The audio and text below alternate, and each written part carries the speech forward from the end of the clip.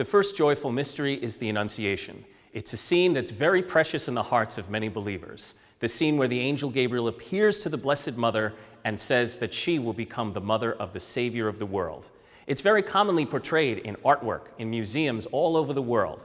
But one thing that's very unusual is that Angel Gabriel is often portrayed as this very unintimidating character. He's in pastel colors, he has long blonde hair, very different from the way we see the Archangel Michael, who is portrayed as a warrior, a powerful figure defending the gates of heaven.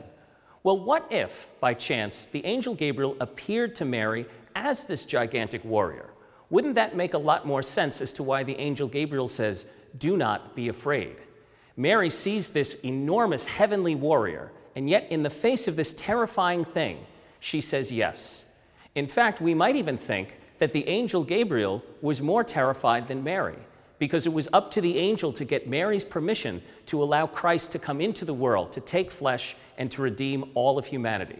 So while Mary may have been trembling in the presence of the angel, maybe Gabriel too was trembling in the presence of the Blessed Mother.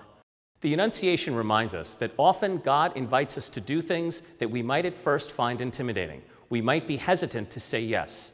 But the Blessed Virgin Mary's example reminds us that whatever God asks us to do, we can do with the help of His grace and the prayers of the Blessed Virgin Mary.